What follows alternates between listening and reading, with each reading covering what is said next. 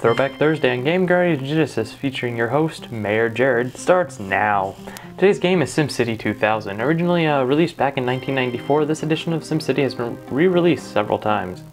Most of the other sim games were uh, major flops. Uh, the city building series became one of the most popular franchises, like, probably for a while ever.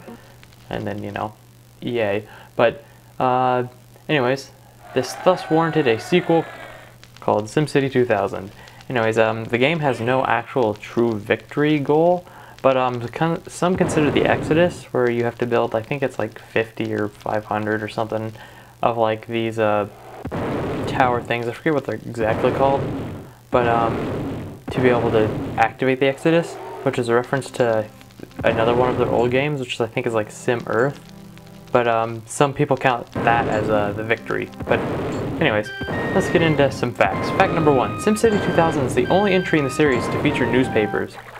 Um, the newspapers were used to deliver information on your town, but were replaced by the use of the news ticker and later entries. Um, fact number two, SimCity 2000 introduced underground layers and objects like pipes and subways, along with varying terrain heights, prisons, schools, libraries, museums, marinas, hospitals, and ah, that's what the towers are called. The arc, arche, okay, this is probably gonna come out wrong. Arcologies are A-R-C-O-L-O-G-I-E-S, whatever those are called. The things that are used for the Exodus. Um, actually, and I think they no longer appear in the series like after this game. But anyways, um, the the query tool and the separate taxes for like industries, commercial, and residentials were also new to the series.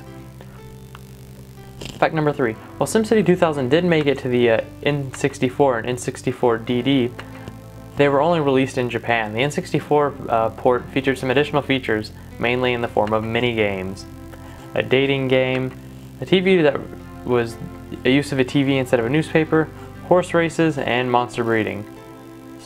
All of them were in like full 3D. A few natural disasters uh, were also included, most of them being uh, giant monster attacks, which the players were able to use their own monsters that you were breeding to fight against them. So that's always fun, you know. Oh look, Tokyo is being attacked. Oh wait, let's unleash our Godzilla. That makes sense.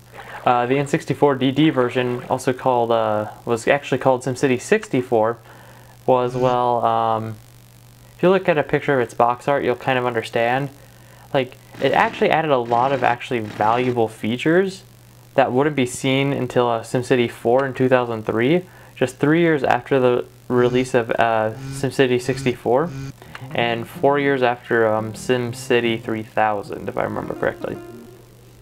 And just because the box art looks a little weird, and the game does look a little weird, it is actually, honestly, in some ways, actually more superior than the SimCity 2000 that it's based on. Uh, fact number four. In December 2012, the Museum of Modern Art in Manhattan acquired SimCity 2000 to its permanent collection of video games. It is playable as a demo only though, because if you allowed people to play the full game, you would, they would be stuck there for hours trying to build their city and it would be awful. Alrighty, fact number 5. SimCity 2000 has a unique ability in which cities created in SimCity 2000 can be loaded into a SimCopter, which is like this game where you're like a police helicopter and you have to go like rescue people, fight, you know, stop crime, chase people, take out fire, stuff like that. Or Streets of SimCity. I'm not 100% sure which that one was, because I owned, actually had SimCopter for a while. Um, Streets of SimCity, uh, to my knowledge, was something along more along the lines of like Sims, like The Sims, and maybe something more like a neighborhood type building thing. I could be wrong on this. I'm not 100% sure. Um, also, Players can then tour the cities they made from their vehicles. Okay, so as I was talking about with SimCopter, you fly around and stuff. Streets of SimCity, it has to be like The Sims. Um, this feature would later inspire SimCity 4 uh, Rush Hour, which allows you to kind of do it from the viewpoint of like cars on the streets or whatever. Also, SimCity 2000 cities could also then be used in uh, SimCity 3000, like through an import feature. Review.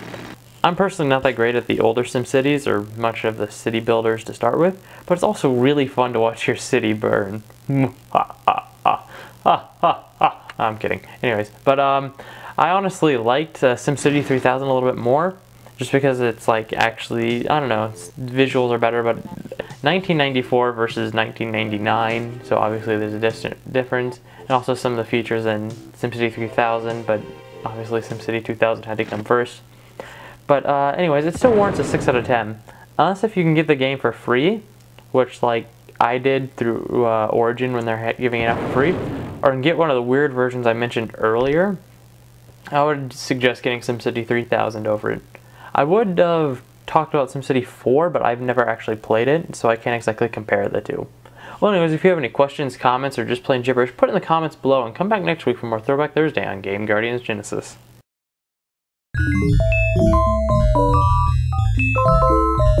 Thank you.